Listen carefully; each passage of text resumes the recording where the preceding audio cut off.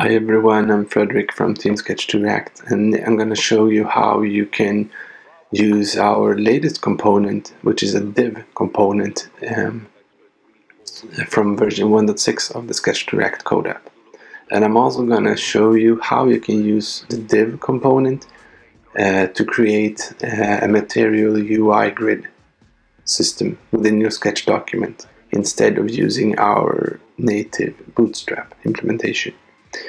So, okay, let's get started. Uh, I have my demo document here. And I create a text. This is hello. Material. UI and then I change the name into text. Like this then I group this one uh, three times. The outermost one will be named div and it will contain classes and the classes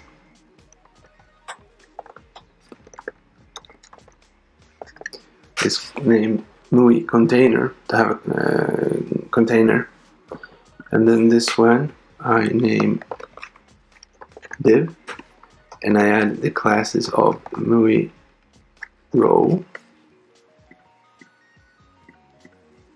and this one should also be a div and I add the classes of um, MUI col and then I can also add which breakpoint which is MD and then 4 and it's also a 12 column grid so 4 means one third Okay, so now I have a set of uh, divs which will generate div tags and it will add these classes and these classes are specific to material UI CSS. Okay, so everything is saved.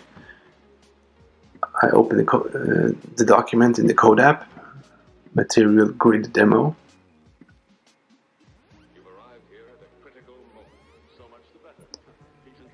And nothing happens.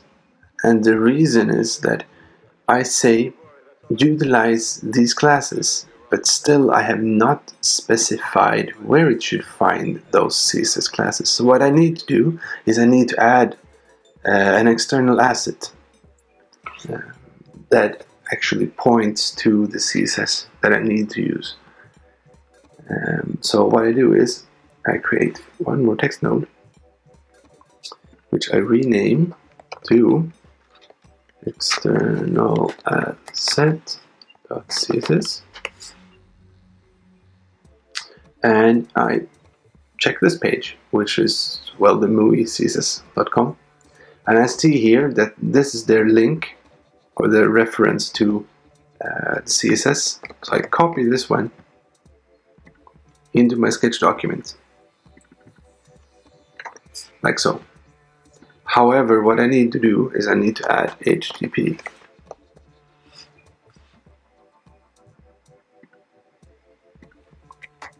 Now, this tells me that in order to find these classes, I need to have an external asset. An external asset is from the MUI CSS, and it's the MUI min CSS.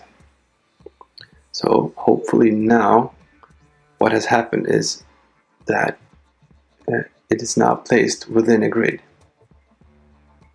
And you can see that the, it has um, gotten some padding and it has been, had some margins, so it has been um, um, positioned slightly differently, and that's because it now lives within a proper grid.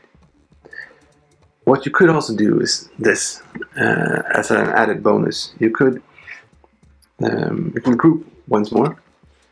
And you can create a div element. And you can add MUI MUI panel. Like this. And nothing changes of course in the sketch document.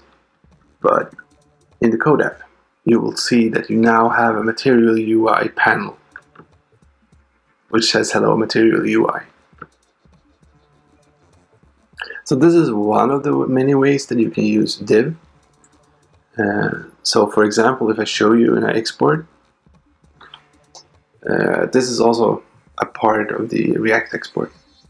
But I can show you this material UI demo.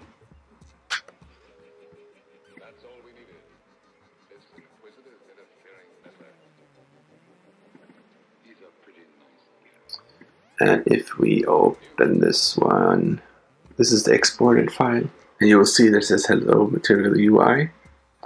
We can inspect. And we can see that it has the MUI container, it has the MUI row, the col of MD4, and the MUI panel. And you can also verify that when I make the, the window smaller, it covers the entire width. And that's a behavior of uh, the material UI grid. So, enjoy, and I hope you create wonderful things. And please uh, share with us what you have been doing. Uh, we would love to see how you use Sketch to React, what you can create. The ship must be ready as soon as possible. I must go to base 12 on Mars.